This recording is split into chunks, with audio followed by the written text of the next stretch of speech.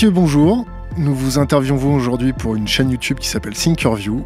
On aurait aimé avoir un petit peu votre vision des choses euh, sur le côté finance, géopolitique et peut-être nous apporter ensuite des préconisations. Hervé de Carmois, bonjour. Bonjour. Vous pouvez vous présenter succinctement? Je suis d'extraction bancaire. hein. J'ai été dans la banque pendant un demi-siècle.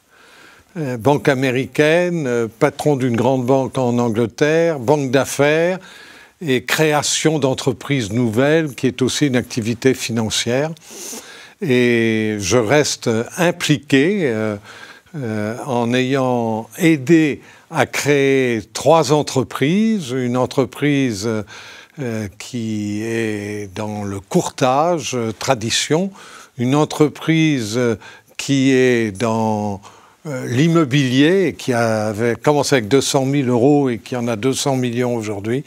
Et enfin, une entreprise qui s'appelle Meridiam, dont je suis aussi le président, mais euh, euh, pas l'actionnaire, qui, a, qui est devenue en 15 ans la quatrième affaire financière industrielle la plus importante pour créer des infrastructures. Et à côté de ça, vous avez une petite vie associative dans les think tanks. Vous avez été. Oui, on, travaille. euh, C'est évident que quand on prend sa retraite, il faut avoir une autre activité.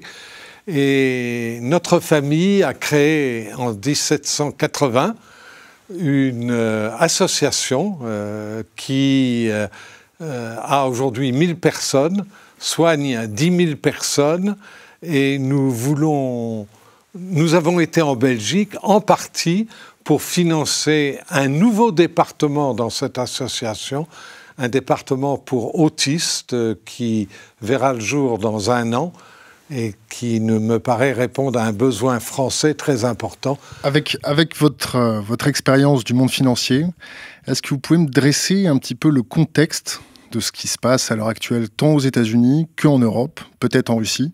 Qu'est-ce qui se passe sur les, marchés financiers? Quelle est la politique extérieure américaine sur les marchés financiers? D'abord, les marchés financiers sont devenus colossaux. Euh, moi, je suis frappé du fait que euh, euh, les grandes entreprises multinationales ont 2000 milliards de dollars, 2 trillions de dollars en liquidité qu'elles n'utilisent pas. Et si les entreprises multinationales n'utilisent pas leur liquidité, les entreprises financières qui ont elles aussi d'immenses liquidités ne les utilisent pas. Et donc euh, euh, la faible croissance mondiale est à euh, comparer à l'immense ressource financière qui existe de par le monde. On peut dire qu'il y a entre 15 et 25 trillions de dollars disponibles euh, qui euh, se contentent de petits gains d'intérêt entre 0,25 et 1,50% euh, euh, et qui ne font rien avec leur argent. Charles Gave, est-ce que ça résonne en vous? Oui et non. Euh, Alors, qui, qui êtes-vous, Charles Gave? Charles Gave, je suis, euh, mettons, un, intellectuel de la finance, c'est-à-dire j'ai toujours fait deux choses. J'ai euh, essayé de conseiller les gérants de fortune sur ce qu'ils devraient faire de l'argent de leurs clients, ça a été mon premier métier. Puis ensuite, il y a un certain nombre d'entre eux qui m'ont demandé de gérer de l'argent, donc j'ai toujours été à la limite de l'étude de l'économie, de la finance et de la gestion de portefeuille. Ça a été mes, domaines d'activité. Aujourd'hui, la société que j'ai créée à Hong Kong en 98 a environ euh, 900 clients dans le monde entier, tous gérants. Euh, nous sommes 70 personnes et nous sommes lus par à peu près 12 000 personnes par jour. Et tous ces gens-là, sont les- nous avons des clients dans 65 pays. Et comme la France ne va pas bien, j'ai décidé de rentrer en France et de créer l'Institut des libertés, qui est un endroit où on agite des idées gentiment. Donc les idées que vous agitez, quand, Hervé nous dit énormément de liquidités qui ne sont pas investies, ça, ça vous fait raisonner, rebondir sur quoi? Est-ce que vous pensez que ces entreprises qui n'investissent pas sont plutôt réticentes, sont plutôt prudentes, sont plutôt angoissées?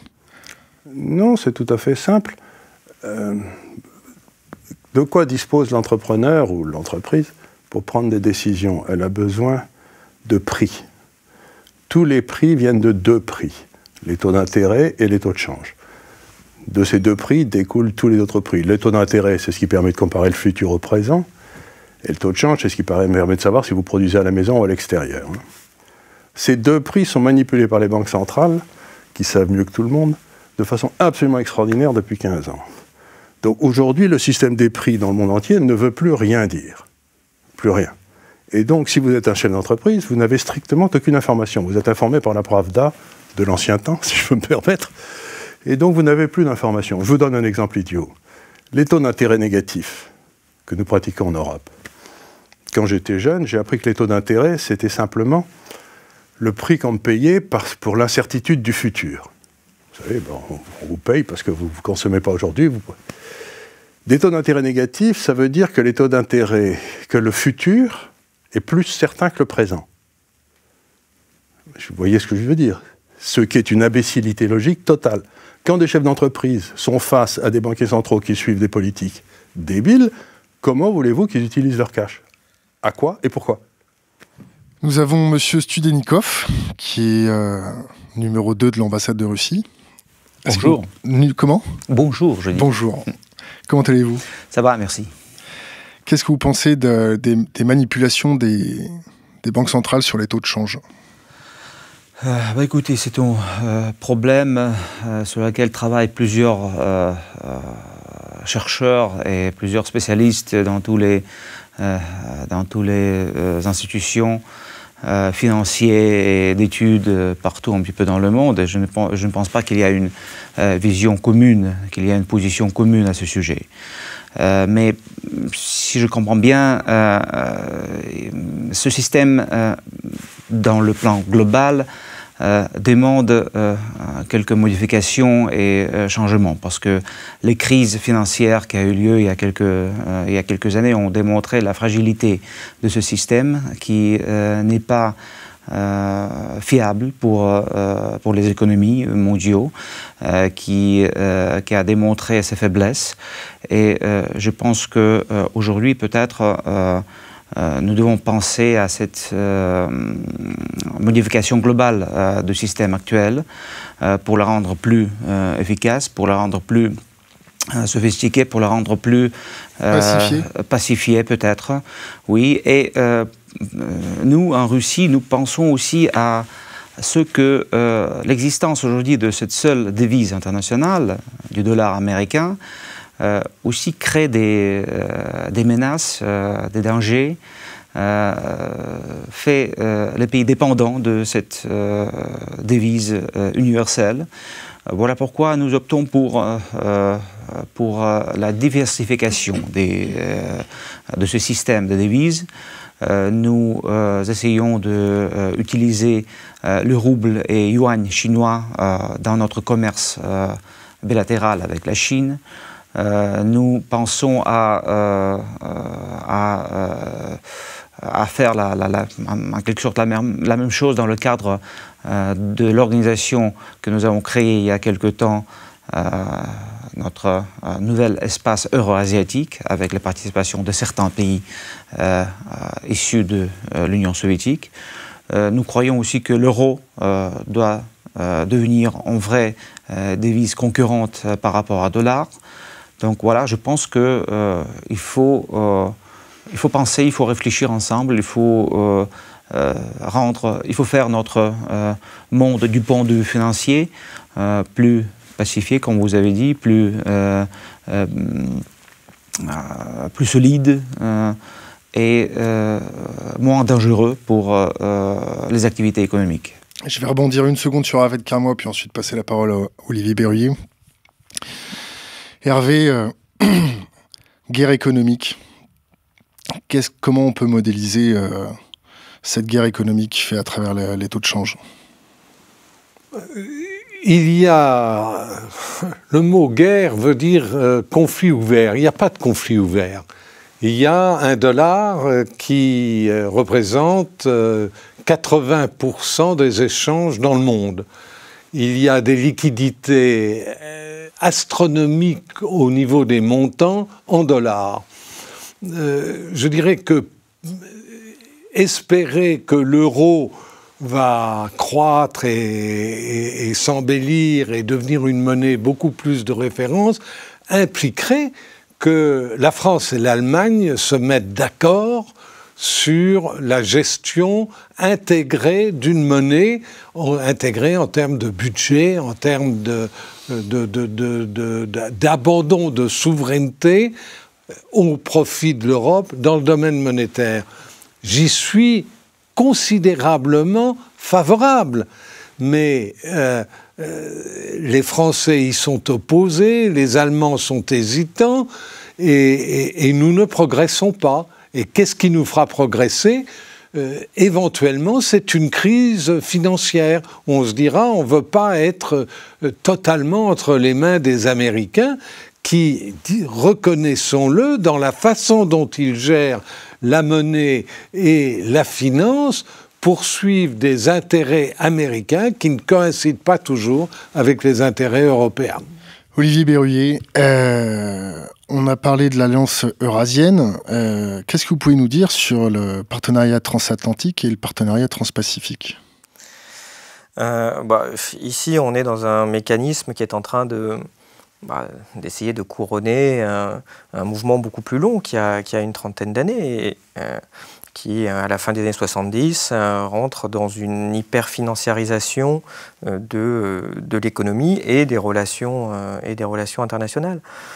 Par rapport à la finance dont on, parlait tout à l'heure, on, est, on est face à un système financier qui à la base a un rôle fondamental de soutien, de financement de, l'économie, euh, qui a fini par prendre son, euh, indépendance quelque part, qui, euh, alors qu'à la base il est censé être le cœur d'une économie et donc de donner du sang à l'économie, a décidé de devenir autonome et de fonctionner que pour le cœur et plus pour le reste du, corps, étant rétif à toute tentative de contrôle et ayant le pouvoir de menacer tout le monde, donc en disant les jambes, si vous n'êtes pas gentil, je vais vous couper le sang donc euh, filet droit. Euh, et, donc ce système fonctionne essentiellement pour lui-même et surtout il a la capacité à croître de façon démesurée, euh, puisqu'évidemment pour aller faire du, bénéfice, puisqu'on en est là sur le financement de l'économie réelle, bon, bon, on en fait un peu, enfin c'est pas, c'est pas, c'est pas, c'est pas royal. Hein. dans les années 70, quand il y avait 2-3% de rentabilité dans une banque, c'était déjà, c'était déjà Hollywood. Hein. Enfin, mais dans ce, ce système qui n'est plus au service de l'économie, mais qui est finalement au service de la d'une forme de spéculation. Enfin, le, système joue avec le système. Quand on regarde les échanges ou les produits dérivés, 90% des contreparties d'une banque, c'est un autre acteur financier. C'est pas une entreprise qui aurait besoin vraiment d'une couverture. Et donc, on est dans un mécanisme en, roue libre. Et, ce système, au niveau de la planète, euh, aujourd'hui, si, on agrège tout, est de l'ordre de 10, peut-être même 15 fois le total du PIB mondial. Donc, on a un système qui est complètement euh, déconnecté des besoins de l'économie. On pourrait dire à la rigueur, pourquoi pas euh, on pourrait dire c'est du casino, c'est vrai, mais après tout, le casino, bon, c'est pas moral, mais c'est pas, pas dangereux. Mais, le système-là n'est pas contrôlé et prend des risques hein, qui sont complètement démesurés. On a vu en 2008-2009, quand, euh, quand, quand, quand, le système a commencé à tanguer, que c'était très difficile de le sauver. Donc les, États ont dû, euh, et les banques centrales, injecter des, centaines et des milliers de milliards euh, là-dedans, sauf que rien n'a changé. Et donc ils continuent à prendre des risques. Ils se disent même maintenant, tiens, j'ai une assurance géniale des, États et du contribuable, donc continuons allègrement. et tout ça n'est pas contrôlé. Et, ce que j'ajouterais, c'est que, c'est que la difficulté, c'est que ce système finalement a pris le contrôle et des banques centrales, comme le disait Charles tout à l'heure, parce que certes, évidemment, la Banque centrale fait n'importe quoi un peu partout, on est d'accord, mais elle le fait pourquoi? Elle ne le fait pas juste comme ça, elle le fait au service aussi de ce, de ce secteur financier, et a pris le pouvoir du, politique, euh, indirectement des médias. Enfin, on voit qu'on est dans un système qui est très, très difficilement euh, réformable. Charles? Bah, écoutez, Le système est difficilement réformable. Il est très facilement réformable. Quand, très facilement. Euh, quand Ronald Reagan a il y a eu la crise des primes, des, savings and loans aux États-Unis. Euh, il y a eu une crise assez grave. Euh, il y a eu 4000 chefs d'entreprise de savings and loans qui ont été en prison. Nous avons eu la crise financière la plus importante de l'histoire, depuis les années 30, et aucun de ces gars-là, qu'il avait créé de toutes pièces, de Corzine en passant par tous ces gars-là, n'a été en prison. Donc la question essentielle, c'est qu'est-ce qui se passe exactement? Et là, je rejoins l'analyse d'Olivier. Il, y, a un homme qui a demandé à avoir un petit déjeuner avec moi il y a, 3-4 ans, qui s'appelait Thomas Hoenig, qui était le chairman de la réserve fédérale de Kansas City, qui était voting member du Fed, qui a voté huit fois contre son chairman, Bernanke. Et il m'a dit, on a sympathisé, on était deux chez Balthazar en bas à New York. Là. Il m'a dit, Charles, euh, il faut que je te dise quelque chose, tu m'es très sympathique. Depuis la fin des années Clinton, il y a une plutocratie qui a pris le contrôle des États-Unis, avec les trois grandes banques que tout le monde connaît, et cette plutocratie gère la masse monétaire et le système financier américain au profit de cette plutocratie. Et la grande question, c'est comment allons-nous, Américains, récupérer notre démocratie? Donc il ne faut pas s'imaginer une seconde, nous avons aujourd'hui une mafia qui a pris le pouvoir, c'est une mafia qui est quasiment criminelle, et il ne manque que de, que de courage politique. Vous soulevez quelque chose de très intéressant, c'est-à-dire que cette plutocratie qui finance, on va dire, les, les, les présidentiables aux États-Unis, euh, a mis la main aussi sur euh, la cette Banque démocratie directement. Regardez simplement les nominés de la Banque centrale, des, qui est Banque centrale dans le monde aujourd'hui. Ils sont tous passés à un moment ou à un autre par cette plutocratie. Vous parlez de l'école de Chicago Non, c'est pas du tout l'école de Chicago, je dirais plutôt, c'est tous les gars, tous les banquiers centraux sont passés par Goldman Sachs. D'accord. Tous. Il y en a plein qui ne sont pas passés en Goldman Sachs.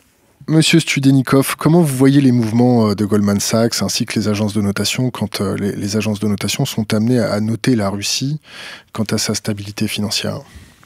Écoutez, nous avons euh, l'impression que ces décisions sont trop souvent politisées, sont trop liées avec la situation politique dans le monde, sont trop liées avec l'état euh, des relations entre euh, Moscou et Washington.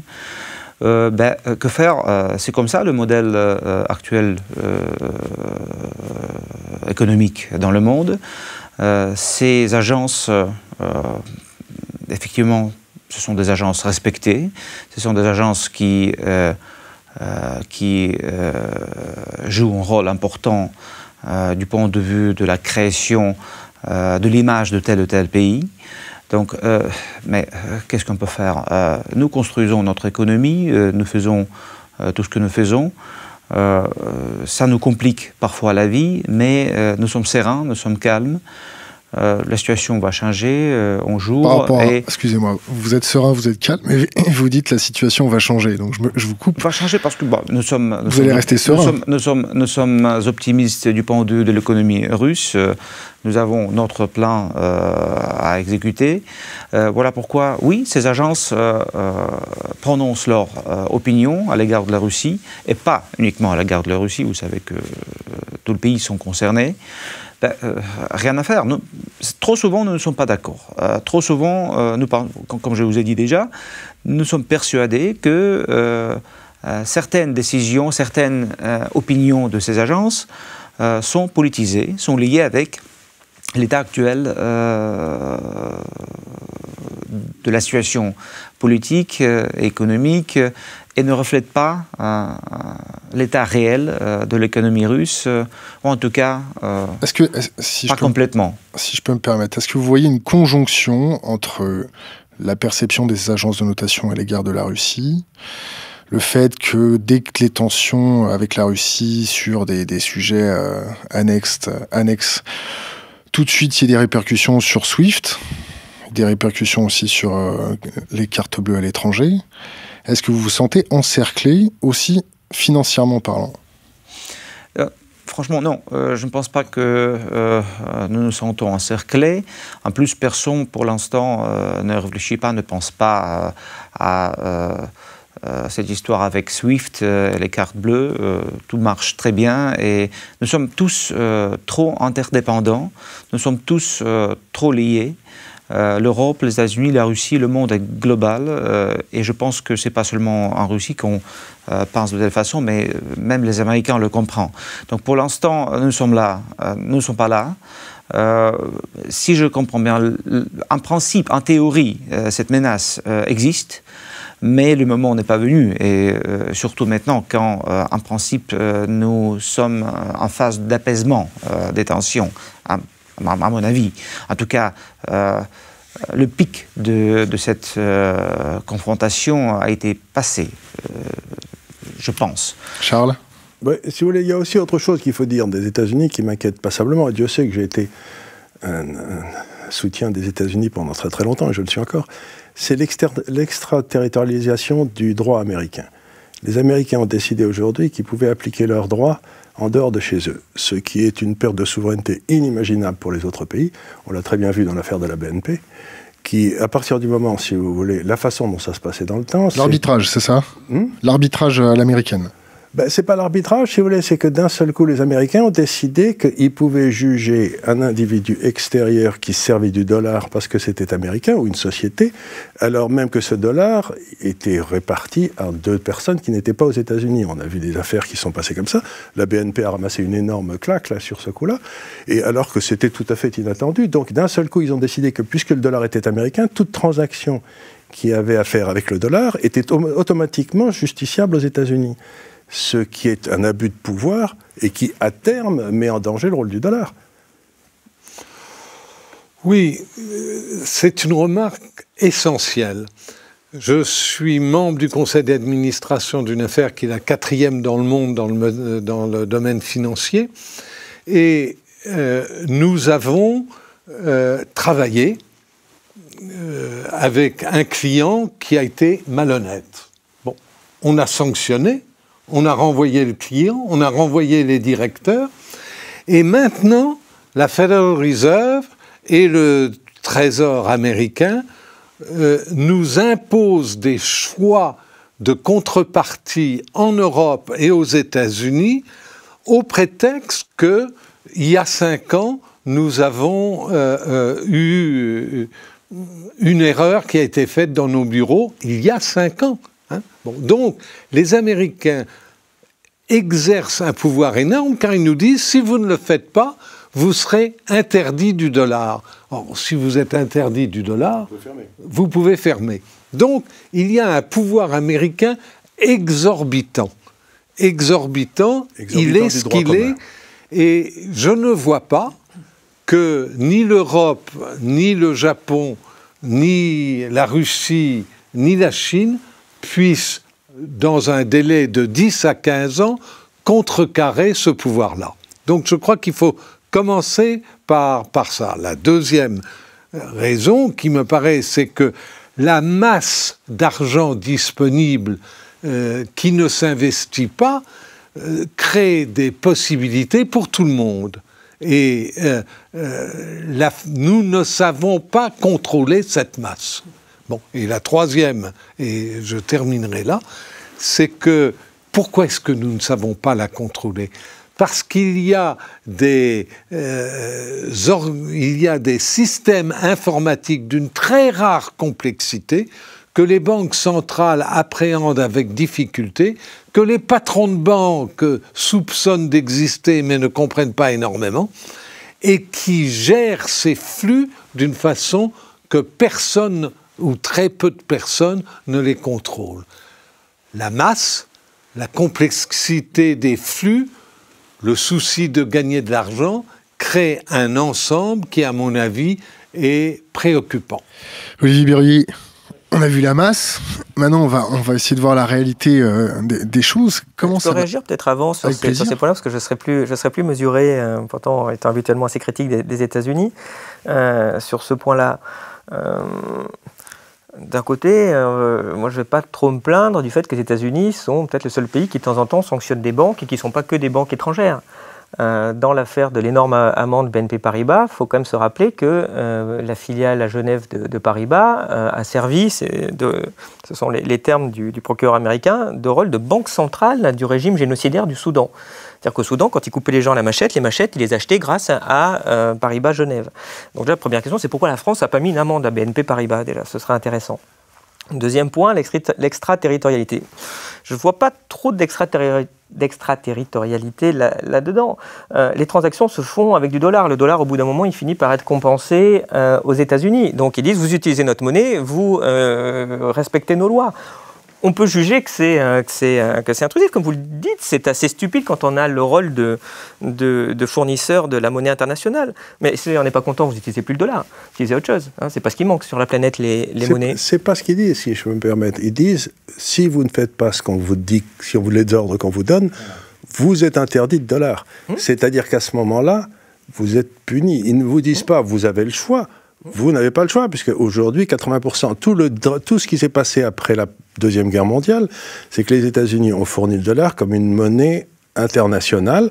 Et l'arrangement qui existait à l'époque, qui était très simple, était de dire la banque centrale du pays en question, d'un pays par exemple la France, vérifie que les transactions qui ont lieu en dollars entre deux de ces entités, entre la France et le Soudan, entre la France, est conforme à la loi française. Et dans la mesure où elle est conforme à la loi française, nous n'avons rien à dire.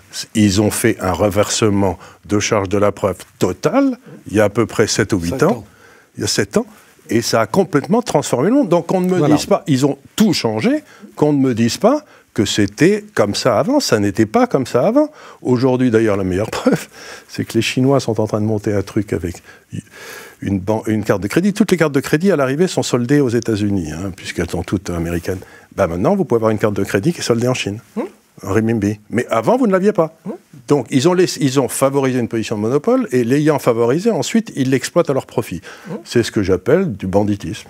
Oui, mais ça, vous êtes au cœur de la critique libérale du monopole. Donc, à la rigueur, bah, donc, vu leur attitude stupide, il y a de moins en moins de monopole, tant mieux. Euh, oui. Non, mais ça pendant 40 ans. Hein. Ah, en, attendant, vous vous retrouvez en prison. Hein. Ça, peut prendre. Ah oui, bah, bah, si vous vous retrouvez en prison, vous allez utiliser de l'euro ou du yuan. Non, alors que vous n'avez rien fait d'illégal dans votre pays je m'insurge contre le fait que si je fais quelque chose d'illégal alors que je suis français et que je suis en France et que les États-Unis me mettent en prison à cause d'une loi américaine, hum. je considère que c'est un abus de pouvoir. Hum. Mais pourquoi utilisez-vous la monnaie américaine Utilisez autre chose mais parce que c'est, le même ah, principe que euh, n'utilisez pas, Google. On n'a pas le choix. C'est, 80%.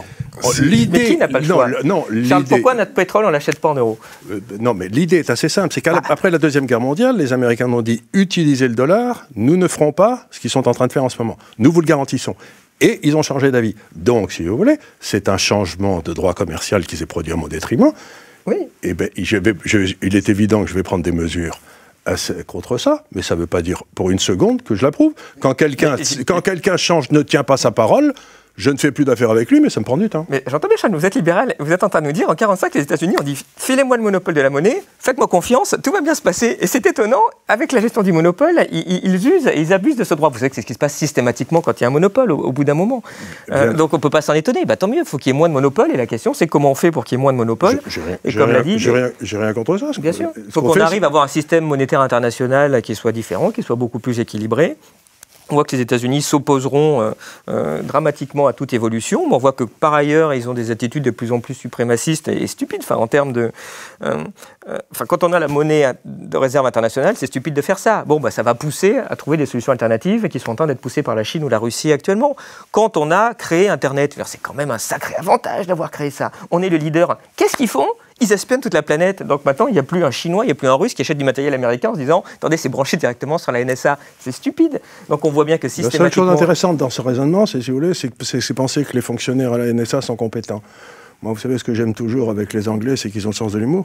Et ils disent toujours on paye les fonctionnaires beaucoup trop, mais au moins on n'en a pas pour notre argent. ce qui veut dire par là, c'est comme ils sont incompétents, c'est une très bonne nouvelle. Donc, s'imaginer que les gars de la CIA sont capables de suivre les informations qu'ils reçoivent, ça me fait plutôt rigoler parce que j'ai persuadé le contraire. Mais après, après, après, ils vont peut-être passer à l'intelligence artificielle pour traiter toutes ces, toutes ces, ces métadonnées. Oui, l'intelligence artificielle, c'est ce qui marche dans les marchés financiers et ça vous fait crack sur crack. Hein. Alors, tous les marchés financiers, les algorithmes et tout, c'est que de l'intelligence artificielle et ça marche pas du tout. Ça remplace pas ce que vous avez entre les deux oreilles. Hein. On pourra en reparler sur une autre émission. Vous avez parlé de Snowden. On va, entamer la partie un peu plus géopolitique. Euh, je vais m'adresser directement à Monsieur Studenikov. Euh, déjà, merci pour l'asile auprès de Snowden en Russie. Quand, nous avons euh, vu Snowden prendre ses quartiers à Moscou, ça nous a fait un petit peu penser à, une revanche sur l'affaire Orlov. Euh, j'avais l'habitude d'en discuter avec euh, Jacques Andréani, qui était un, de mes amis, et c'était notre grand sujet en disant voilà, les Russes ont Snowden, c'est l'équivalent d'un Vladimir Vetrov 40 ans plus tard, 50 ans plus tard. Qu'est-ce que vous qu'est-ce que vous en pensez? Est-ce que quand vous avez reçu Snowden à Moscou, ça vous a pensé, ça vous a fait vous aussi penser à l'affaire Farwell? Euh, écoutez, Snowden, euh, c'est plutôt euh, pour nous ce qu'a fait Snowden, c'est un acte d'un citoyen, c'est un acte d'un homme qui reste patriote, qui veut tout simplement changer ce qu'il n'aime pas dans son pays. Et c'est un acte courageux. C'est une personne qui, vraiment, que nous ne pourrons que respecter, parce que vraiment, c'est un, acte courageux. Il a, il marché contre le système, et c'est toujours très, très compliqué. Euh, nous, nous le connaissons parce qu'à l'époque soviétique, euh, il y avait des gens qui, euh, même à cette époque-là, avaient le courage de protester, d'aller contre le système. Ils, sont, ils ne sont pas si nombreux que ça, mais en même temps, ils sont nombreux. Donc, aux États-Unis, c'est un cas un petit peu. C'est un, une histoire pas très ordinaire. Euh, cette histoire a provoqué un très grand intérêt en Russie. Et finalement, euh, c'était la décision de, Snowden. On n'a pas organisé l'évacuation ou euh, c'est pas, une histoire d'espionnage. Il a fait son choix. Il est arrivé à Moscou. On a beaucoup réfléchi. On a vraiment, on a beaucoup étudié le sujet. Finalement, on lui a donné l'asile. C'est un homme euh, tout à fait libre, euh, il peut euh, faire ses choix, il peut partir quand il veut, mais nous pensons que c'était une bonne décision de lui donner l'asile, de lui donner la possibilité de vivre, de travailler en Russie, parce qu'il a, il a fait ce qu'il a pensé juste. juste et correct. Euh, mais évidemment, les Américains ont une vision tout à fait différente. Euh, c'est à peu près la, même que la vôtre euh, du temps de Farwell Oui, c'est toujours, toujours comme ça, oui. mais, vous savez,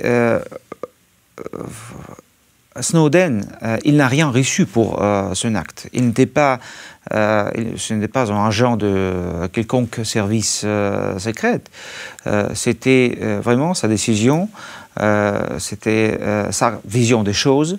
Euh, et, qui, était sensiblement la même, qui était sensiblement la même que Farwell à l'époque. Farwell, tu vois, Vladimir Vetrov avait trahi parce que, à son sens, le KGB était une institution complètement corrompue qui ne servait plus l'aigle à deux têtes. Il avait décidé de faire fuiter ce que le KGB savait. En fonction de ça, Snowden a fait sensiblement la même chose. C'est-à-dire qu'il a vu que la, constitution américaine était foulée aux pieds euh, de la façon la plus simple possible et il a décidé de faire fuiter et de se réfugier chez vous parce que vous étiez les seuls à, pouvoir faire euh, bouclier contre les serres de l'aigle américain dans le monde. C'est-à-dire que même euh, Julian Assange lui a déconseillé d'aller se réfugier en Amérique du Sud avec tout le passé qu'on connaît des Américains en Amérique du Sud.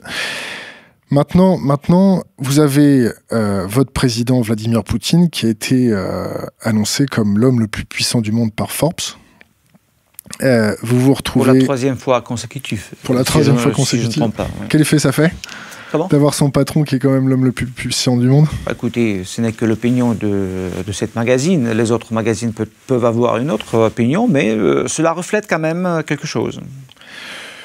On a Vladimir Poutine qui est amené, on passe à la partie géopolitique, euh, on est, on est euh, Vladimir Poutine qui a envoyé des troupes euh, en Syrie pour pacifier, ou du moins stabiliser le cancer islamique sur place.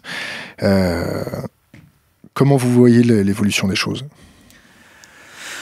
Tout d'abord, nous avons beaucoup œuvré pour que le processus de paix en Syrie soit entamé commence. On a beaucoup œuvré pour que la conférence en Genève, euh, euh, euh, cette première réunion à Genève, aboutisse à la prise des décisions concrètes pour mettre la fin aux hostilités, mais on n'a pas reçu la bonne réaction de, la part de nos partenaires occidentaux parce que sont toujours, ou plutôt maintenant, il y a une certaine évolution dans les approches de nos partenaires occidentaux à l'égard de, de, la situation en Syrie, mais à l'époque, euh, tout le monde était absolument sûr qu'il faut chasser euh, Bachar Assad euh, du pouvoir, et après, ça sera la victoire des forces démocratiques, et la vie va s'améliorer de façon spectaculaire en Syrie, donc il faut d'abord chasser Assad du pouvoir on était euh, vraiment beaucoup plus prudent euh, déjà à l'époque,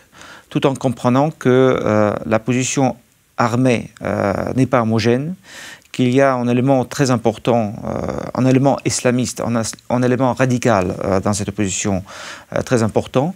Et maintenant, nous voyons que vers l'été 2015, l'État islamique est devenu un vrai fléau, un vrai défi, non seulement régional, mais global. Euh, ils ont commencé euh, en Irak, et c'est un surpris total pour tout le monde. Ils ont envahi une grande partie de l'Irak, euh, une situation tout à fait inattendue, tout d'abord par les Américains, sans parler du gouvernement irakien. Donc après... Vous parlez de situation inattendue, ça me fait penser aux déclarations du général Wesley Clark, Concernant la déstabilisation de la ceinture méditerranéenne, euh, c'est une vidéo qui est très, très facilement accessible sur Internet. Vous l'avez peut-être d'ailleurs vue, non? Non.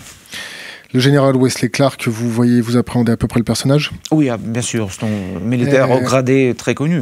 Qui, qui, annonce euh, sur euh, une chaîne internet qu'il passait par hasard au Pentagone et qu'un de ses collègues, un ancien collaborateur, lui dit Venez, venez, mon général, j'ai un, un mémo classé secret à vous montrer ce qui dépeint une déstabilisation dans la région. Euh, vous, vous ne voyez pas de corrélation entre l'effondrement de l'Égypte, de la Syrie, de la Libye, bientôt peut-être le Liban, et, et le fait d'allumer un contre-feu, on va dire, de business en Afrique, c'est-à-dire éviter que l'Europe puisse se projeter par l'épandage d'un fléau, la, la stimulation d'un fléau, sur des principes économiques. Vous, vous avez quelle perception sur ces fameuses révolutions de jasmin, ces, ces révolutions arabes?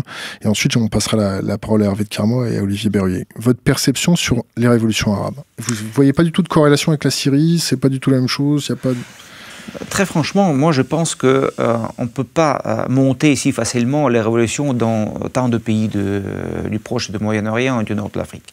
Je pense qu'il y avait des conditions qui se sont réunies pour que ces révolutions commencent, même si, euh, vous vous rappelez peut-être, vous vous souvenez peut-être que euh, la première révolution a commencé en Tunisie. Et c'était une chose absolument inattendue pour la France, euh, qui quand même a des relations privilégiées avec ce pays, qui connaît tout le monde là-bas, qui a des réseaux, etc. Et quand même, c'était un, un, surpris absolu, si je ne me trompe pas. Corrigez-moi si je suis, non, si je, je suis pas raison, mais je pense pour que certains analystes, c'était pas du tout, euh, c'était c'était totalement anticipé. D'ailleurs, euh, on pourra on pourra en débattre. Donc, pour certains analystes, les révolutions arabes étaient totalement prévisibles de par l'augmentation du coût énergétique. Je vous rappelle le baril de pétrole à 147,90 qui a propagé les émeutes de la faim un peu partout dans la région. Mais euh, c'est un sujet à discuter peut-être. Le mais, était fertile. Euh, quand même, euh, les premiers événements en Tunisie ont été accueillis avec une certaine consternation partout et surtout en France. je me souviens très bien de cette histoire avec Madame Aléo Marie qui a été beaucoup critiquée pour ses contacts avec le régime au pouvoir. Mais après, euh, quand ce mouvement euh, a commencé, je pense que les forces extérieures ont beaucoup participé, et surtout je pense aux pays du Golfe qui ont soutenu certains courants dans les différents pays. ils ont choisi leurs clients, si vous voulez, en Libye, en Égypte, en Syrie. Donc, le début, c'était comme d'habitude le mouvement populaire, mais la continuation, avec une forte participation étrangère et après avec, une forte ingérence étrangère, surtout en Syrie. Surtout en Syrie où euh, euh, certains pays du monde arabe ont soutenu euh, de façon très concrète, même en fournissant les armements. donc ils ont participé activement dans ce conflit inter interne en Syrie et dans d'autres pays. la Russie. La Russie a observé toute cette situation. Je vous rappelle qu'on a bien euh, soutenu, euh, en tout cas soutenu, nous n'avons pas euh, apposé notre veto à cette résolution concernant l'imposition de certaines mesures, le ciel fermé en Libye. nous n'avons pas apposé notre veto en espérant que la pression soit accordée sur le régime de Kadhafi pour euh, le faire négocier avec euh, les insurgents. partout un petit peu dans le pays, mais surtout dans l'est, dans, l'est du pays. Mais au compte, finalement, c'est toujours le problème de la façon comment on peut traiter telle ou telle résolution. Donc la résolution sur la Libye était telle qu'elle a été utilisée par nos partenaires occidentaux pour frapper, pour détruire le régime libyen euh, ce qui a euh, amené à la situation que nous constatons aujourd'hui. La Libye est déchirée. Vous ne voulez pas le même carnage en, Syrie Comment Vous ne voulez pas le même carnage en Syrie Écoutez, nous, sommes venus déjà assez tard, parce que le carnage était déjà en cours. Mais vraiment, nous ne voulons pas la liquidation totale de l'État en Syrie, parce que le résultat sera absolument désastreux pour tout le monde. Voilà, c'est la raison principale de notre implication dans le conflit. Et n'oubliez pas que euh, euh, nous, sommes venus, euh, nos partenaires occidentaux et la France ont bombardé les troupes de Muammar Kadhafi euh, sans aucune euh, permission et résolution spéciale des Nations Unies. On a, compris que vous souhaitiez, on a compris que vous souhaitiez avoir une perception irréprochable de la communauté internationale sur vos frappes et que vous annoncez d'ailleurs quand vous frappez le territoire syrien pour éviter qu'il y ait une bombe qui se perde sur la tête d'un Américain ou quelque chose comme ça. Et d'ailleurs, vous avez spécifié que vous allez instaurer un dôme d'exclusion aérienne pendant que les Russes frappaient en Syrie. C'est aussi la, votre façon, de, du moins, de prévenir les gens attention, nous sommes là, nous faisons les choses correctement, d'une façon carrée, on a bien compris. Charles Gave, très rapidement, ensuite Hervé et Olivier. Écoutez, je crois que, puisqu'on parle de la Syrie, on ne peut pas comprendre ce qui se passe en Syrie si on ne fait pas allusion à la guerre civile qui déchire l'islam depuis à peu près 14 siècles entre les chiites et les sunnites. Hein. Donc vous avez d'un côté les sunnites, qui représentent à peu près 60% de la population, mais je suis moi-même né en Syrie, la Syrie, c'est un pays de multiples communautés, et toutes les communautés savent parfaitement que si les sunnites reprennent le pouvoir en Syrie, elles vont se faire massacrer. Les alaouites en premier, les chrétiens, ce qu'il en reste, il y en a pas mal quand même. Les arméniens, ils sont chrétiens également. Donc vous avez une espèce d'alliance objective de toutes les minoritaires en Syrie. S'imaginer qu'Affaire al-Assad n'est soutenu que par les alaouites est une idée fausse.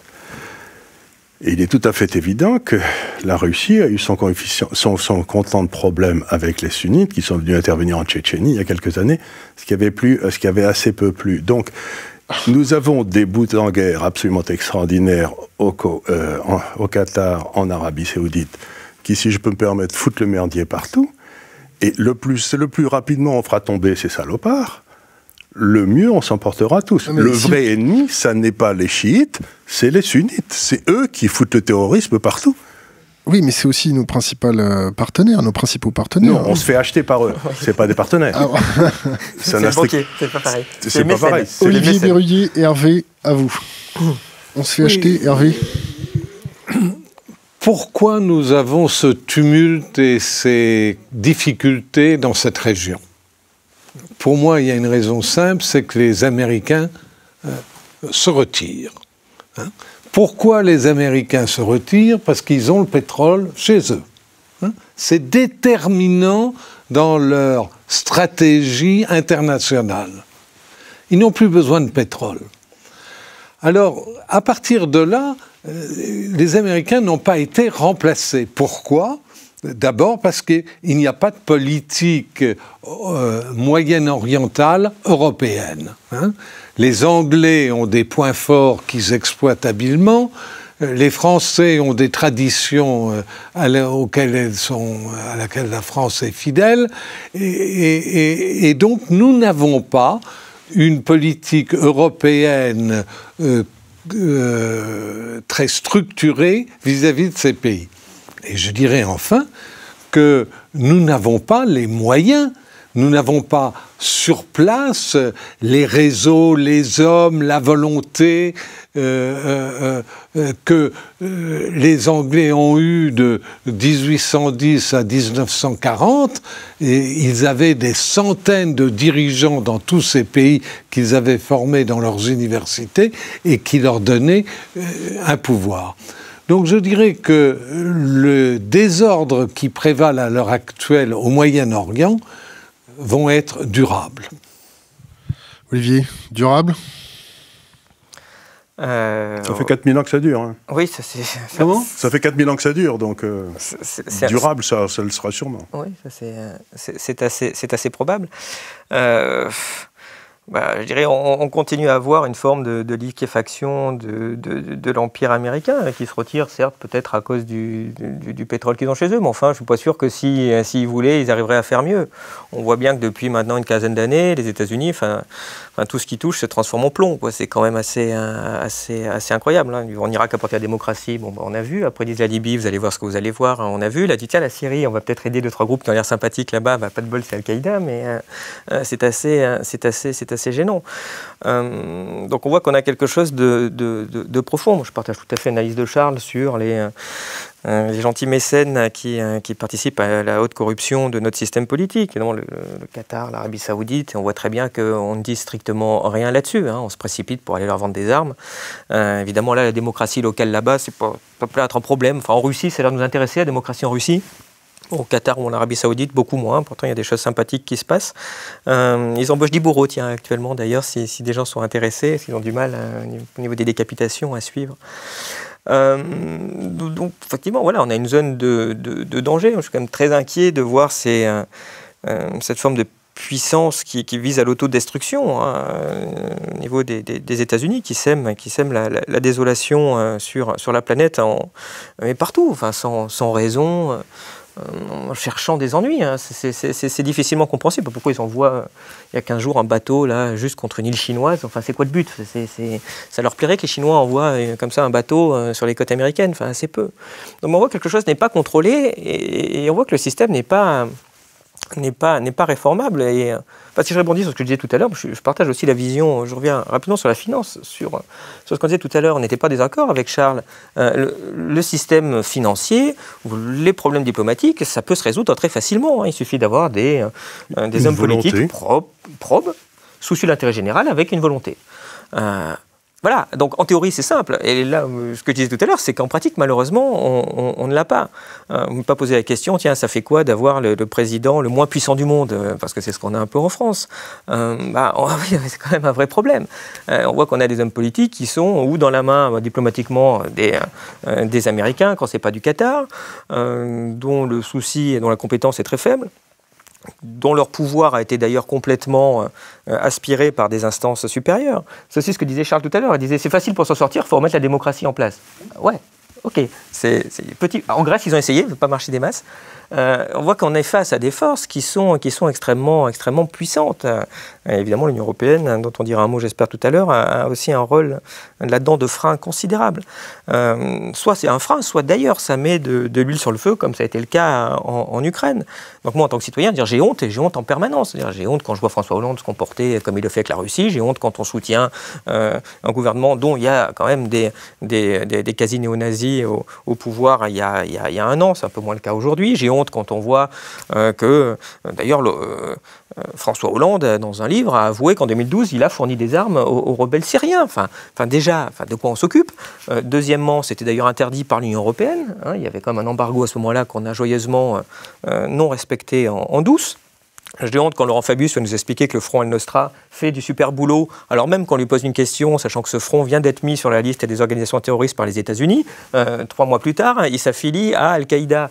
C'est quand même fabuleux, c'est quand fabuleux, je dirais. Et, en ce moment, les rebelles syriens ont des armes françaises euh, qui ont été généralement fournies par ben, nos grands démocrates du Qatar et de l'Arabie Saoudite, on y revient, qui, sèment la désolation sur la planète. Voilà, donc on ne fait rien, on continue d'ailleurs dans ces, dans ces attitudes euh, euh, suicidaires. On a fait semblant de les bombarder pendant, euh, pendant, pendant un certain temps. C'est la vieille plaisanterie, si vous voulez. Si dans le monde, quand il n'y a pas... Il vaut mieux avoir un gendarme fou qu'une absence de gendarme. Et aujourd'hui, on est dans un monde où il y a une absence de gendarmes, donc tous les petits terroristes de base poussent sur les portes en espérant qu'elles seront ouvertes. Et il n'y a aucune résistance. Et donc, je ne connais pas, de, je connais bien l'histoire du Moyen-Orient. Il n'y a jamais eu un moyen tranquille s'il n'y avait pas un empire qui imposait sa loi par la force à l'ensemble de la région. C'est-à-dire c'était l'Empire ottoman, avant ça c'était l'Empire byzantin, avant ça c'était l'Empire romain, puis les Grecs. Il n'y a jamais eu une période où le, Moyen-Orient ne soit pas mis sur la gueule comme des fous entre eux s'il n'y a pas un empire. Et maintenant, ça va être l'Empire turc, l'Empire russe, j'espère. Écoutez, en ce qui concerne le gendarme, je pense qu'il euh, y a un gendarme, mais un, gendarme incapable, qui commence euh, une guerre, ne termine pas, euh, évacue ses troupes, et après, c'est le chaos total. Ils dépensent 5% de leur PIB chaque année après, les Américains, et ils réussissent pas. dès qu'il y a un homme de tué, ils, s'en vont. Donc, si vous voulez, à quoi ça sert de dépenser 5% du PIB Vraiment, regardez la carte du Proche-Orient et du Moyen-Orient. Ils sont entrés en Irak, en Afghanistan. Euh, il participe activement dans les affaires en Syrie. Euh, il y a aussi l'Égypte, il y a la Libye. Partout, le chaos total, pas de succès, pas une seule guerre gagnée complètement. Et au moment donné, il voulait aussi, bon, pas attaquer Iran, mais en tout cas vraiment, euh, on n'était euh, pas au bord de la guerre peut-être, mais euh, il y a pas mal de, personnalités, des politiciens à Washington qui, qui, voulaient vraiment frapper. Et non seulement La question est pourquoi? D'où ça vient? Parce que c'est quand même extraordinaire. On fait tous le même constat. C'est extraordinaire la capacité des États-Unis. Mais pourquoi C'est leur système politique qui est devenu fou? On parlait du chaos contrôlé, la théorie du chaos contrôlé. Mais il paraît qu'ils ont créé le chaos mais euh, il ne le contrôle plus. Hervé? Oh, C'est l'incapacité des États-Unis à gérer le Moyen-Orient euh, existe de tout temps. De tout Ils n'y arrivent pas. Ils n'y arrivent pas parce qu'ils n'ont pas les hommes, parce qu'ils ne voient pas la mentalité, et fondamentalement parce qu'ils n'y voient plus leur intérêt. Et les États-Unis sont bons, hein, euh, comme euh, mais alors qu'est-ce qu'ils vont y foutre s'ils n'ont plus d'intérêt qu'ils les laissent tranquilles? Ils, continuent à intervenir comme des fous? Bon, ils interviennent parce que euh, ils se retirent doucement, qu'il y a des conflits de personnes au sein des, hauts dignitaires militaires américains, qu'il y a des conflits d'intérêts financiers à tous les niveaux. Je veux dire, c'est cette complexité-là. Mais les Américains ont pris la décision de se retirer de cette région, ils se retirent mal, personne n'y va à leur place et les Européens absolument pas. Et, donc, nous allons avoir du tumulte local en croissance. Du tumulte local. Comment, comment pouvez-vous dire qu'ils se retirent du Moyen-Orient alors qu'ils continuent toujours à avoir un soutien forcené à Israël, qui est une pièce au Moyen-Orient? Très bien. Très bien. je, dis le Moyen-Orient dans son ensemble, à l'exception, et alors là vous avez tout à fait, d'Israël. Oui, mais c'est comme un bout important du Moyen-Orient. Mais c'est un bout important. Il, faut dire il y a 8 millions de juifs aux États-Unis. Oui, non, mais C'est tout. Mais il faut dire que les Israéliens aussi, ils, ils ont ce sentiment que les États-Unis partent. Bien sûr. Mais absolument. aussi. Le soutien existe, les relations sont très denses, euh, très privilégiées, mais les, les, Israéliens aussi, ils se sentent euh, un peu seuls euh, dans ce monde. Les Israéliens, ils vont s'allier aux Jordaniens et aux Égyptiens, toutes affaires cessantes, parce que c'est tout leur intérêt. Et sans oublier le conflit arabo-palestino-israélien, parce que là, ce conflit est complètement oublié. Bah oui, bah, c'est une stagnation totale. Et ça aussi, ça bah, crée des, des risques. Mais les, Américains interviendront massivement si l'existence d'Israël est menacée. Pour le reste, ils se retirent au mieux de ce qu'ils peuvent. Alors, ils ne peuvent pas très bien. Euh, est-ce que l'empire, l'impérium euh, américain vaut en qualité ce qu'a été pendant 130 ans l'impérium britannique? La réponse est non. Hein et, pour des raisons très profondes de disponibilité d'hommes, d'intérêt pour la région de, euh, et de qualité de leur diplomatie. Bon, eh ben, nous devons, nous, Européens et Français, en tirer les conséquences et se dire que euh, si nous ne prenons pas en main notre destinée, personne euh, dans cette région-là, personne d'autre ne le fera à notre place. Mais pouvons-nous vraiment le faire? Parce que la question, la question est là. Charles disait tout à l'heure, à quoi ça sert de dépenser 5% du PIB euh, dans des dépenses euh, euh, militaires? Enfin, bon nombre de parlementaires américains ont bien compris à quoi ça servait. Et pour le coup, enfin, en tout cas au niveau de leur compte en banque, au niveau, enfin, sur ce sujet-là, Eisenhower avait fait quand même un testament, au jour où il est parti de la Maison-Blanche, extrêmement poignant hein, sur, sur l'alerte sur le complexe militaro-industriel, qui aujourd'hui est un complexe militaro-financiario-bancario-industriel. C'est un vrai sujet. Enfin, attends le moyen de, le faire. Non, en théorie, on peut, c'est facile, mais, en pratique. Et, la réponse est non. on n'a pas les moyens. Qu'est-ce qui manque pour qu'on ait ces moyens? Euh, Il manque trois choses. Il manque une volonté politique européenne, et elle ne vient pas.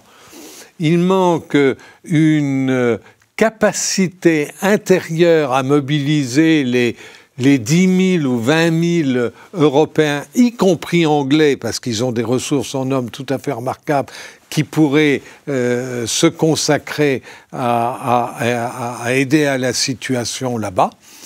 Et puis, euh, il manque le fait que notre image euh, dans tous ces pays, nous avons été le pays les pays colonisateurs.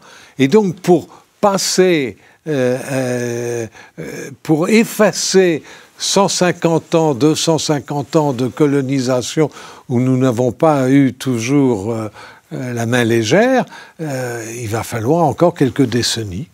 Monsieur, Monsieur Studenikov, est-ce qu'on va vers une troisième guerre mondiale? Je ne pense pas, et c'est un tabou. Il ne faut pas même évoquer euh, cette éventualité. Non, il ne faut pas même évoquer euh, ce sujet. Non, euh, je suis absolument convaincu que nous n'avons pas de raison pour, pour même évoquer cette, cette guerre. Il n'y a pas de... il n'y a pas de rivalité idéologique d'autrefois. Euh, il n'y a pas de, régime euh, tout à fait si différent euh, qu'autrefois les États-Unis l'Union soviétique. Il n'y a pas de deux camps, l'Est et l'Ouest. Non. Et, tout d'abord, tout simplement, je refuse d'évoquer cette éventualité. il faut faire tout le nécessaire pour essayer de trouver ensemble euh, euh, les sorties de différentes crises et de différents conflits qui existent aujourd'hui. Euh, nous sommes toujours, malgré cette aggravation des relations entre l'Occident collectif et la Russie, nous avons toujours plusieurs domaines où nous pouvons et où nous coopérons avec succès. Et l'affaire iranienne est une preuve de cette coopération efficace tout en euh, restant euh, euh, sur les positions différentes à l'égard de la crise syrienne ou de la crise ukrainienne, nous coopérons avec les États-Unis dans le domaine de la lutte contre le terrorisme, dans l'espace, dans d'autres domaines. Donc, qu'est-ce que vous dites à votre partenaire chinois quand la Chine déclare Nous sommes prêts à faire la guerre aux États-Unis, nous n'avons pas peur? Qu'est-ce que vous leur dites aux Chinois? Vous leur dites, euh, vous inquiétez pas, tout va bien se passer. Non, nous, On se calme. Non, euh, nous disons du calme. Faut, laisse tomber, laisse tomber. Euh, et je ne pense pas que. Parce que j'entends, le conflit entre les États-Unis et la Chine, c'est une possibilité, c'est une réalité. Je ne pense pas parce que là aussi, écoutez, c'est difficile de trouver un autre deux pays qui sont si interdépendants du point de vue économique et financier. Euh, donc j'ai du mal à imaginer euh, un vrai conflit. Par contre, euh, il y a des divergences sur la mer. c'est la sécurisation du chapelet de perles, du oui, tout à fait. il y a des problèmes, mais n'oubliez pas que la Chine a des problèmes avec ses voisins. Euh, ce n'est pas une affaire chino-américaine.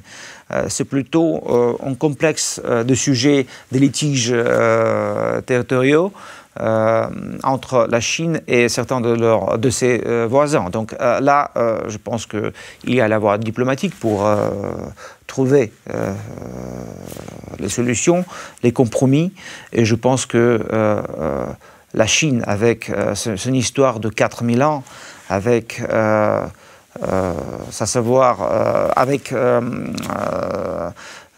leur sérénité, vraiment, parce que euh, quand on parle euh, de l'impérialisme, de l'impérialisme chinoise, parfois, ce n'est qu'un rumeur, ce n'est qu'un euh, vraiment chose tout à fait inventée, parce que jamais la Chine n'était pas impérialiste, si on ne parle pas des... la, Chine, la Chine, sur la sécurisation du collier de perles, ça a commencé depuis, euh, on va dire, vers 2006, où on a vu les troupes américaines sécuriser le, la principale route énergétique chinoise.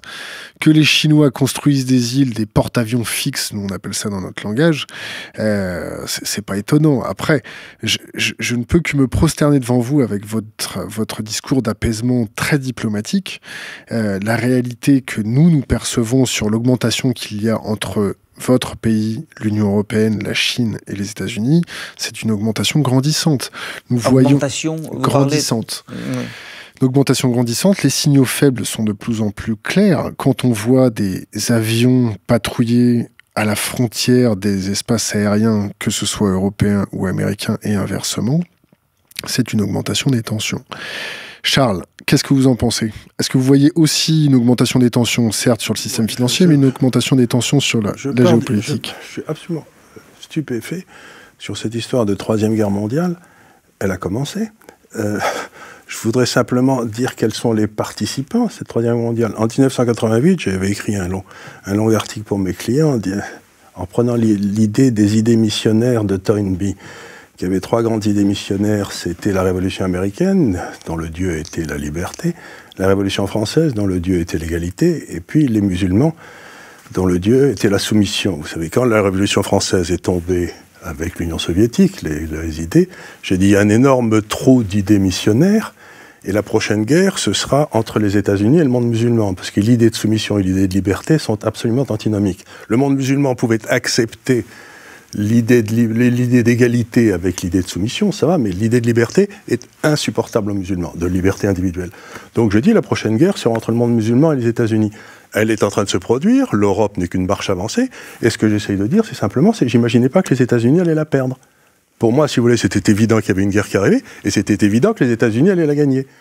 Et puis, la guerre a commencé, et les États-Unis sont en train de la perdre. Et qu'on ne me raconte pas d'histoire sur l'Europe, l'Europe est en train de la perdre, puisque, grosso modo, si vous voulez, nous n'avons plus aucune force militaire, à part quelques-unes qui traînent en Angleterre ou en France, qui sont des restes historiques de temps plus glorieux. Donc on est là, on va se faire envahir, c'est ce que vous disent tous les musulmans, on va, se faire battre par le ventre des femmes. Point. Donc la guerre a commencé, c'est avec le monde musulman, et on va la perdre. Le cardinal Lustiger, dans un livre que j'ai lu qui était tout à fait remarquable, où il était interviewé par deux philosophes, Volton et l'autre, on lui pose la question, vous, l'Église a le temps long devant elle, Qu'est-ce que vous pensez de l'Europe?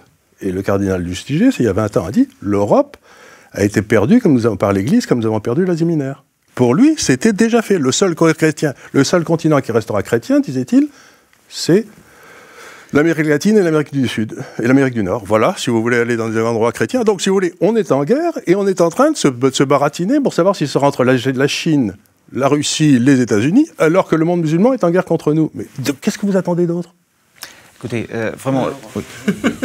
Monsieur Studenikov euh, Je ne suis pas fataliste. Euh, je ne suis pas fataliste dans ce domaine-là parce que, écoutez, la Russie nous donne l'exemple de coexistence absolument pacifique entre les différentes confessions et tout d'abord entre les musulmans et les chrétiens parce que les musulmans, ils sont énormément nombreux en, Russie. 20 les millions d'habitants. Les Tchétchènes peut-être pas tout à fait d'accord. Tatars, Bashkirs, Tchétchènes. J'entends bien, mais vous avez, vous avez eu des problèmes avec les Tchétchènes. Oui, mais. et que vous avez résolu fortement. écoutez, on a utilisé les différents moyens et finalement, le problème a été résolu. Mais le monde musulman est aussi, euh, il n'est pas homogène. Euh, les pays musulmans sont différents. Et je, ne pense pas que nous pouvons parler d'un conflit entre le monde musulman et les États-Unis ou le reste du monde. Il y a le terrorisme, euh, il y a le radicalisme islamique, et il y a le monde musulman. Il faut distinguer les choses. Et le terrorisme d'État islamique existe. L'État islamique, c'est une organisation. Non, pas de l'État euh, islamique, des États islamiques. L'Arabie saoudite a financé depuis des, décennies toutes les organisations terroristes, comme le Qatar. Et on sait très bien qu'il y a derrière le terrorisme. Hein. Hervé, je vous redonne la parole. Oui, moi je, diffère fondamentalement de, de, votre position. Je ne suis pas surpris. Non, vous n'êtes pas surpris. Je diffère parce que je crois que les faits sont plus forts que, les mots. Les faits qui euh, euh, me paraissent importants, euh, c'est que dans le monde entier, l'extrémisme religieux est, est, contesté. C'est contesté en Europe, c'est contesté en Asie. Je dirais que l'extrémisme euh, dogmatique et n'est plus de mise en Union soviétique. Donc cet extrémisme-là, euh, bon. Alors il y a euh, un milliard de, musulmans, il y, a, il y aura, le monde aura 7 milliards de personnes dans 20 ans, 15% de la population. et sur ces 15%, probablement 15% qui sont assez fanatiques. Et alors ben Vous aviez que 3% de nazis, hein. Ils ont foutu le monde que 3% de nazis, Ils ont foutu le monde à mais nous avons une société de liberté où les opinions peuvent s'exprimer, où créer un courant qui emmène une majorité à, imposer sa loi est devenu extraordinairement difficile. La société européenne, française, américaine et mondiale est en voie de mutation comme nous ne soupçonnons pas. Et cette mutation ne va pas, à mon avis, vers un extrémisme politico-religieux euh, qui semblerait dépasser dans beaucoup de, dans, les profondeurs des principaux pays mondiaux. Je, souhaite que vous ayez raison, mais c'est pas ce que je vois dans les journaux tous les jours. Hein. Ah oui, mais moi je lis pas les journaux. Voilà. En tout cas, c'est la raison pour laquelle euh, nous, en Russie, nous disons qu'il faut être beaucoup plus prudent euh, si vous voulez euh, faire quelque chose dans les régions comme Moyen-Orient et Proche-Orient. Il ne faut pas tout casser, il faut, aider à l'évolution politique de certains pays, parce qu'il y a des traditions. Les traditions sont telles que la Syrie était toujours un pays beaucoup plus laïque que l'Arabie saoudite. Et euh, le Liban, également, avec ses multiples confessions, était beaucoup plus laïque que l'Iran. Et en même temps, il y a une autre euh, spécificité de la région. Aujourd'hui, l'Iran, regardez, aujourd'hui, l'Iran est un pays plus démocratique que tous les autres pays de la région. Parce que démocratique, mais à sa façon. Euh, oui, c'est un État islamique, mais il y a la vraie vie politique, il y a la lutte entre les différentes partis politiques. C'est pas une dictature. Euh, oui, euh, il y a des, euh, des, autorités religieuses qui sont très influentes. Il faut mieux être une femme en Iran qu'en Arabie Saoudite. Ah oui, tout à fait, tout à fait. Donc, vous, vous, calculez vous voyez combien est différente cette région? Combien sont différents ces pays? Et chaque fois, il faut être vraiment très prudent euh, et il ne faut pas essayer à porter la démocratie qui existe euh, dans les pays occidentaux depuis euh, des, années, des décennies. On ne peut pas imposer la démocratie à la façon occidentale, je sais pas, à, l'Irak ou à la Syrie. Peut-être un jour, ça va venir, mais pas de telle façon comme le font les Américains. Je vais vous poser une dernière question à tous. Il n'a pas répondu, notre ami Berruyer. Oui, si je peux. Allez, allez, allez. Non, non, mon ami Berruyer. Oui, parce que j'ai des regards un peu, un peu différents. on a abordé deux sujets, qui étaient finalement celui de Charles sur la partie, euh, le conflit musulman-occident. L'invasion. et, le premier était, la question sur euh, la Troisième Guerre mondiale. Pour répondre au premier, moi je suis moins pessimiste euh, que, que ça. Il n'y a pas, pour le moment, d'État vraiment organisé qui veut vraiment rentrer en conflit avec l'Occident. Après, il peut y avoir des populations. En France, on a malgré tout une intégration qui marche, euh, qui marche plutôt bien. Euh, maintenant, on voit que la situation actuelle, en particulier avec la Syrie, euh, avec les flots de, de, migrants syriens, va poser des gros problèmes, à mon avis, déjà à l'Union européenne. ça va contribuer à mon avis, à son, à à affaiblissement. On va voir ce qui va se passer dans certains pays, puisque la tradition en Allemagne n'est pas aussi une tradition d'intégration comme elle est les chez nous. Le taux de mariage mixte, par exemple, est très, est différent entre les pays. Donc, quand ils se récupèrent presque un million de, réfugiés syriens, j'attends de voir comment, ils vont, comment les traiter. Mais ceci étant, comme pour le moment, ceux qui bénéficient économiquement de l'euro et de la construction européenne, et ben, qui s'occupent des migrants aussi, et qui n'essayent pas de les refiler aux autres pays, hein, puisque comme ça, willkommen, bah, willkommen, willkommen. Euh, premier point. Mais bon, quoi qu'il en soit, c'est un, sujet qui est souvent dans les têtes. On va dire, peut-être qu'on sera d'accord là-dessus, que c'est quand même un sujet plutôt de moyen terme. Euh, pour qu'il y ait un moyen terme, il faut qu'il y ait un court terme, comme dirait, la palisse. Et là, moi, j'ai envie de citer Albert Einstein qui disait Je ne connais pas les armes de la Troisième Guerre mondiale. Pour la quatrième, ce sera des cailloux. Euh, ça me semble encore très optimiste. Hein. Je ne pense pas qu'il y aura une quatrième guerre mondiale. Hein. S'il si, y a une troisième, vu les dégâts que peuvent causer des, des des conflits nucléaires. Euh, vous disiez tout à l'heure, on ne veut pas en parler. Euh, je pense qu'il faut en parler quand même. En tout cas, quand on regarde ce qui se passe aux États-Unis, et c'est d'ailleurs très inquiétant, euh, ils en parlent. Hein. Vous regardez dans les commissions militaires des comités de la défense, eux. la première menace, c'est la Russie. Oui, Russie, oh, de toute façon, on gratte un peu, on voit que la Chine n'est pas bien loin. Et là, ce qui est assez fascinant, mais je pense qu'il doit être assez. Enfin, on a évoqué le sujet tout à l'heure. Pourquoi? Non, parce qu'il n'y a pas de problème avec la Russie. Ça n'est plus autant de l'URSS. Enfin, quand on regarde, la Russie est un pays euh, qui est globalement démocratique. Il y a sans doute des choses à redire, mais enfin, bon, par rapport à pas mal d'autres pays de la planète, c'est déjà, déjà quand même pas si mal que ça. Il envahit personne. Il parle personne dans son entourage. Pas quand on compare la Russie avec les États-Unis. Enfin, on voit un pays qui déstabilise le monde. Il ne me semble pas que ce soit la Russie. Donc, on pourrait dire, bon, euh, ils sont plus communistes, je pense. Je n'ai pas senti des poussées communistes, moi, chez Poutine. Euh, et pourtant, on a un vent de folie, parce que, euh, enfin, on est sur un niveau psychiatrique quand on regarde, euh, disait la presse aujourd'hui, enfin, on a une russophobie, enfin, qui vaut le Bosch de 1914, hein, sachant qu'il nous faut rien. la position géopolitique de la Russie a été exprimée très bien par, par Poutine en 2007, qui était en gros, nous, ce qu'on aimerait bien, si ça vous dérange pas, d'aimerait être amis avec l'Europe. Hein, voilà la, vision russe, hein, je ne pense pas la trahir, c'est ce qu'il voulait, en disant on a les mêmes intérêts, euh, restez amis avec les États-Unis, mais enfin, soyez aussi amis avec nous, trouvons un monde équilibré. Voilà la vision russe. Ce qu'on leur a fait, ce qu'on leur a craché dessus. Bon, ben, c'est pas très très cool, et puis qu'on le fait souvent. Et pour des raisons délirantes, que ce soit l'Ukraine, que ce soit sur des, euh, ça sur des sujets même symboliques. Hein. L'histoire des Mistral, c'est délirant. On ne leur vend pas un bateau parce que c'est un porte-hélicoptère en leur disant, si ça se trouve, vous allez l'utiliser pour envahir l'Ukraine. Ils ont 3000 km de frontière, mais on ne veut pas leur vendre un bateau pour transporter des... Enfin, c'est comme si, la Russie ne nous vend pas un bateau euh, des fois qu'on l'utilise pour envahir l'Allemagne. Enfin, c'est stupide. Donc je ne sais pas comment les Russes comprennent ça, mais, mais, en tout cas, c'est assez incompréhensible quand on le regarde. Et pourtant, on voit qu'on a une presse qui s'acharne, qui s'acharne là-dessus euh, pour faire monter des tensions. Euh, qui, sont, euh, qui sont extrêmement déstabilisantes.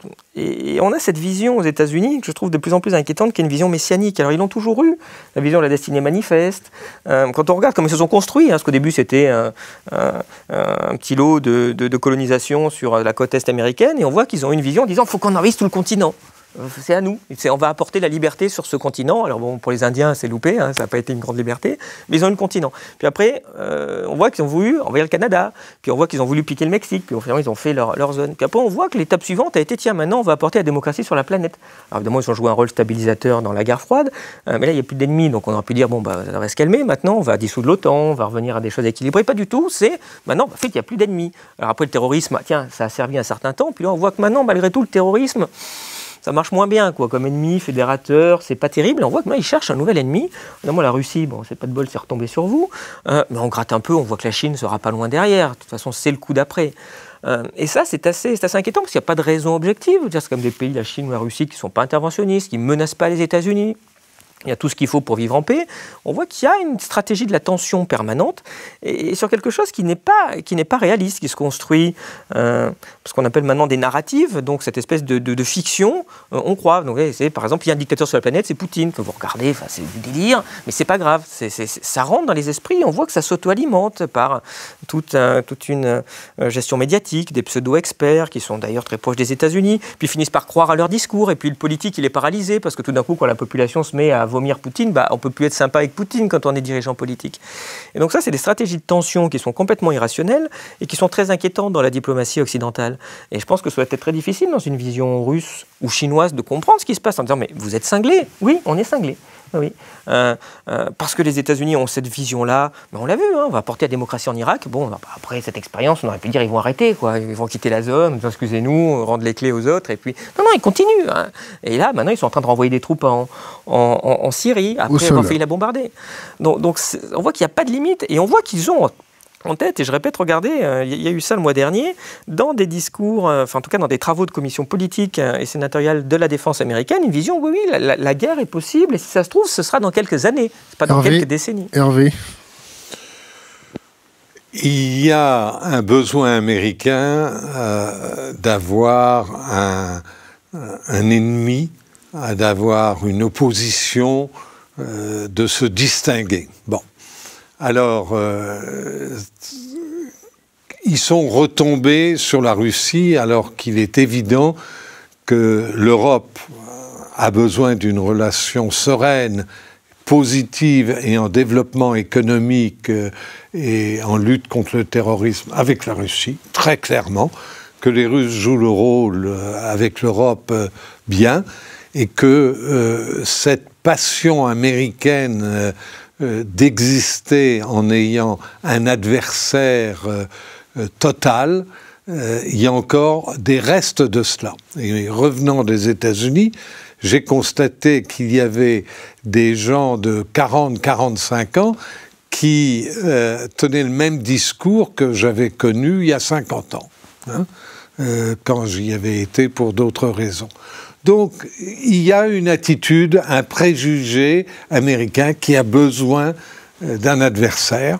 Eh bien, nous devons, je dirais, avoir un peu d'humour. Les laisser. Les Américains veulent ça très bien, nous respectons, et nous, tissons un réseau avec la Russie et avec euh, euh, cette région plus dense, plus constructive, plus économique, plus culturelle. Hein. On a quand même énormément à retirer de la culture russe et, vice-versa. Donc, euh, moi, je ne m'en inquiète pas. Je crois qu'il faut.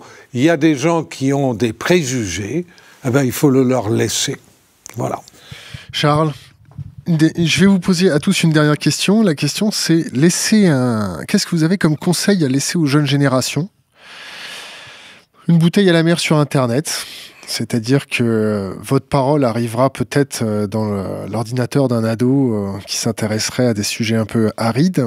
Donc à chacun, vous aurez à répondre, de cette question, à répondre à cette question. Laissez un conseil aux jeunes générations. Vous avez une minute. Ne pas avoir peur ne pas avoir peur. Le monde actuel est extraordinairement intéressant. Jamais l'espace de liberté individuelle n'a été aussi fort. Il y a des tentatives faites par les États pour continuer à nous mettre en esclavage. Mais grâce à Dieu, grâce à la technologie, ne pas avoir peur et penser aux structures horizontales, c'est-à-dire rester léger, ne pas se coller dans des grandes structures pyramidales qui vont toutes s'écrouler. Il faut rester léger, rester souple, et être prêt à bouger. S'il est jeune, il faut être prêt à bouger. Quand je suis arrivé à Hong Kong, il y avait 2000 Français en 1998. Aujourd'hui, il y en a 25 000. Donc, si vous voulez, la quasi-totalité des gens compétents en France travaillent aujourd'hui à Londres, à New York ou à Hong Kong ou n'importe où. Dès que la France cessera de faire des bêtises, il faudra revenir. Monsieur le ministre conseiller euh, Moi, je proposerais euh, de réfléchir et d'analyser de ne pas croire euh, à n'importe quel euh, mass média, euh, tout simplement comparer, lire. Grâce à l'Internet, il y a vraiment, je me souviens de mes années d'étudiant et d'écolier, c'est difficile à imaginer maintenant de ne pas avoir l'accès à l'Internet. Donc maintenant, tout est possible. Analysez les différentes sources d'informations, réfléchissez, euh, donc euh, voilà, euh, c'est ce que je peux proposer. Et créer votre propre vision en se basant sur différentes sources d'informations. Ne prenez pas le fait qui a été proposé par quelqu'un. Essayez de, de, décider, essayez de, de, de créer votre propre vision des choses sans intermédiaire. Prenez les différentes sources d'informations et réfléchissez. Je suis d'accord. Moi, je prendrais euh, la formule de Lénine. Apprendre, apprendre pour agir et comprendre Apprendre, apprendre et encore une fois apprendre. Voilà. Comment on le dit en russe Учиться, учиться и еще раз учиться. Olivier Berruyer il existe de très beaux textes de 1912-1913, euh, puisqu'à cette époque-là, il y avait déjà une première mondialisation, euh, et les gens expliquaient qu'il n'y aurait plus jamais de conflit, parce que les intérêts étaient croisés, qu'il ne fallait pas s'inquiéter, euh, que les guerres c'était du passé. On voit très bien que la folie humaine, malheureusement, ne, remplit pas des, critères, logiques. Donc pour le coup, le jeune, je dirais, pour le coup, toi, oui, aie peur, hein, parce qu'en tout cas, c'est comme dans l'idée, si tu veux, la paix prépare la guerre. Enfin, en tout cas, crains toujours le pire pour éviter qu'il qu'il n'arrive euh, pour ça, euh, pour rebondir aussi sur ce que vous disiez, moi je citerai grand, philosophe Bertrand Russell qui disait Ne soyez jamais sûr de rien, c'est déjà une base intéressante euh, de, de, critères. En tout cas, voilà, creusez les choses, n'ayez pas confiance dans les médias, euh, et battez-vous, résistez, parce que ce sera le prochain combat. Euh, grâce aux technologies, on est plus libre. je pense que bientôt, on sera moins libre grâce aux, oh, nouvelles technologies. et je pense que les États contrebalanceront rapidement, malheureusement, ces, ces points-là. Donc, résistez. Parce que ce sera le prochain combat, à, mon avis. voilà ce que, ce que je dirais en, général. N'ayez pas peur, c'était Jean-Paul II. Oui, oui, oui, c'est Messieurs, je vous remercie. Cette interview est maintenant terminée. Merci beaucoup.